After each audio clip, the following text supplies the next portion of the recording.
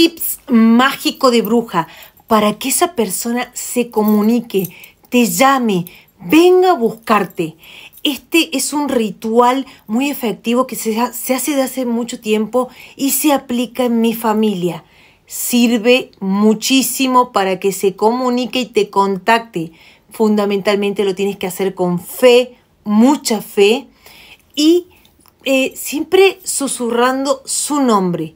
Eh, antes regálame un me gusta y comparte este video con alguien que quieras mucho y que lo necesite. Vas a tomar un diente de ajo, sí. No hace falta que esté pelado. Un diente de ajo lo puedes pelar si quieres. Muchos lo pelan porque es más efectivo, más rápido que se comunique esta persona. Y te vas a hacer siete cruces en tu mano izquierda mientras repites siete veces su nombre y dices, por ejemplo, Juan Pérez, ven a mí. Juan Pérez, ven a mí, Juan, y así siete veces. Verás cómo se comunica esa persona, tanto sea por llamada, por mensaje, e incluso se te aparezca en la puerta de tu hogar.